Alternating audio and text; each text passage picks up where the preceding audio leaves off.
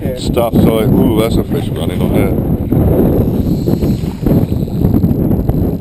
Now it's stopped. Done a short run and now it's dropped it. That. It felt foul play. Cunt. See, that's what I've got to put up with.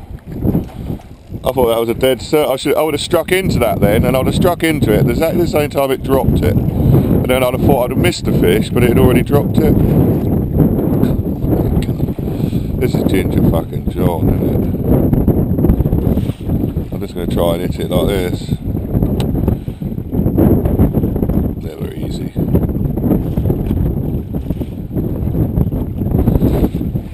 This has just swallowed it down, isn't it? I think. You just carry on with what you've got to do.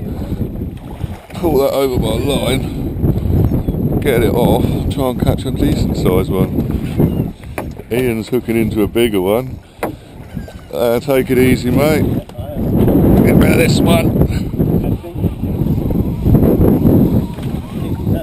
Hughes, you're screaming, mate. That's it. That's it. Take it easy.